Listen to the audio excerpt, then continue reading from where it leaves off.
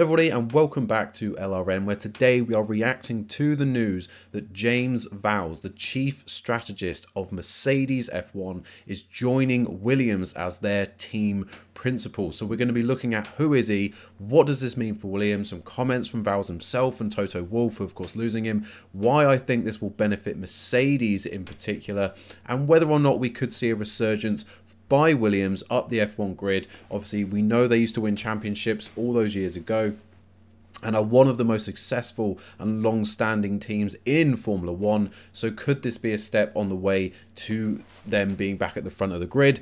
Or is this just a way of them confirming their position as a midfield team um, with no expectations of moving forward? So we'll get into that uh, and we'll look at what this could potentially mean for Williams. And as I say, what I think it will mean for Mercedes.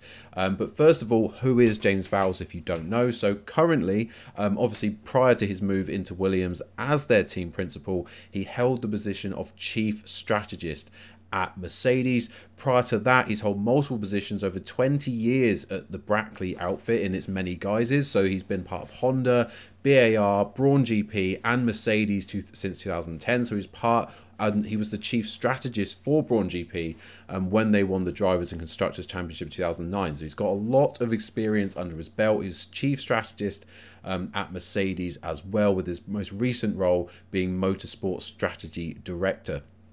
So huge, huge amount of experience for um, James Vowles before he moves into Williams. So a massive, massive signing. I think a bit of a coup for Williams to get him to come over to Williams. Of course, he's been dedicated to the Brackley team for so, so long that for them to get him out of there and come in and lead their team with all the experience he has and at Mercedes as well, of course have been winning titles year in, year out for the past decade. It's a massive, massive win for Williams to get him into their team. But we also know that there is a, a decent relationship between um, Williams, as obviously a, a, they are a um, customer of Mercedes engines.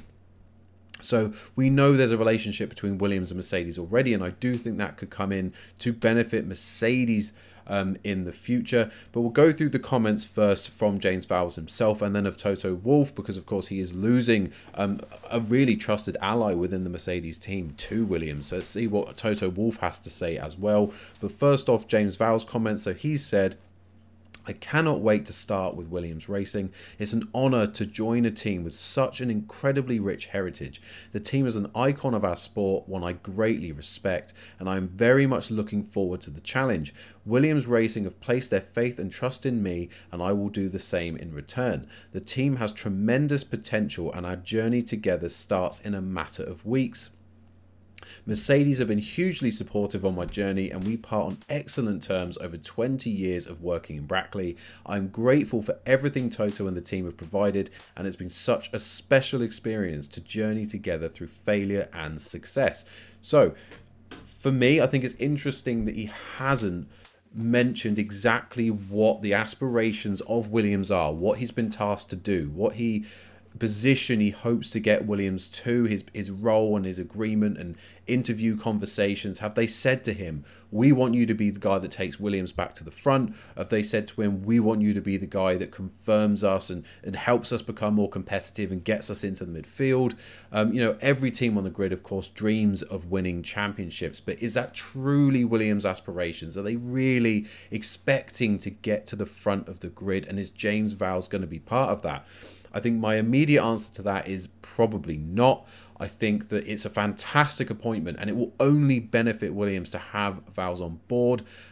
But I cannot see them going past the midfield battle. I don't think when you look at Mercedes, Red Bull, Ferrari, McLaren, who have invested heavily in their infrastructure, uh, Audi coming in, who are going to be a massive force to be reckoned with, Aston Martin, who have again invested massively in their infrastructure, you you very quickly find Williams who haven't had these major upgrades in in the background to their um, you know aerodynamic departments, wind tunnel, etc. They haven't done the or spent the money and put the work in that those other teams are doing that's really going to allow them to compete at the front. So for me, this move is a massively positive one for Williams and Williams fans.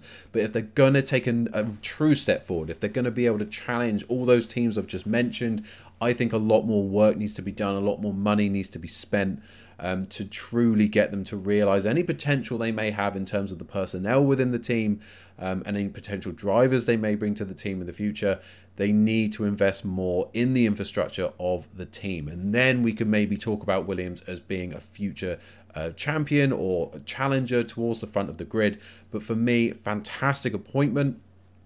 But even with him not mentioning the fact that he wants to challenge at the front, the fact that he's not talking about that, he's saying tremendous potential, but I think that's potential to join the midfield battle. I think beyond that would probably be a stretch unless we get some announcements from Williams and any other work they're doing to back up this appointment and to say this is the beginning of a project and these are all the other things that we're doing to really deliver for Williams and Williams fans then I will struggle to believe that they're going to be challenging at the front. And based on the statement that James Vowles has made, I don't think there will be either. But that's just my point of view. Let me know yours in the comments below. Do you think Williams could potentially challenge at the front? And do you think James Vowles is the man to take them there? Let me know in the comments below. But as I say, for me, that they're not there yet. They could be with the right amount of investment, but I don't think they're going to be yet purely because there's so many other teams who are truly ambitious to, to win titles that I think they're just going to be beaten out of it. I don't think Williams currently have shown the ambition to compete with those other teams, but maybe they will prove me wrong. Let me know your thoughts in the comments below. Toto's also has some comments to make. So, of course, they've worked together a long time. Um, so, having worked with him since I first joined the team in 2013, I know how diligent, capable, and talented he is, and have taken great satisfaction from watching James develop and grow over the past decade. While we are naturally sad to be saying goodbye, we wish we wish him every success and are delighted that he will take this next step in his career with Williams, a strong technical partner of ours and one that has a place close to my own heart.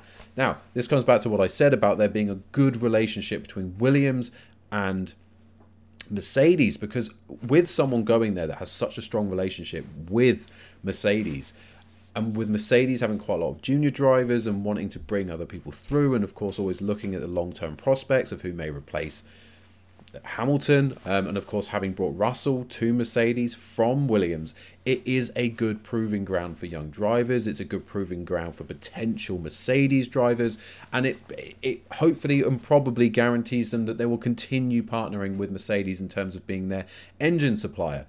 So for me, I think Williams having such a strong ally so well, for Mercedes having such a strong ally at Williams and for Vowles having such strong allies in Mercedes, it's a really good opportunity for both teams to um, to develop uh, and capitalize on this situation. But I think for me, for Mercedes, it's about the drivers. I think we're going to see more drivers go to Williams with that view of basically a testing ground, a bit like what Alpha Tauri is um, to Red Bull. Obviously, not as closely linked as those two teams, but in terms of using that as a proving ground for young drivers, can they make that step up to Red Bull? I think we're going to see that with Williams. They're going to go to Williams, and it's going to act as a bit of a proving ground. It's happened before, of course, as I say, with Russell, but I think maybe more consistently in the future, more drivers going there, more understanding that, you know, maybe it's drivers on loan from the Mercedes driver program where they go there they see how they get on in Formula One, if they can challenge those in the midfield, how they perform against other drivers on the grid.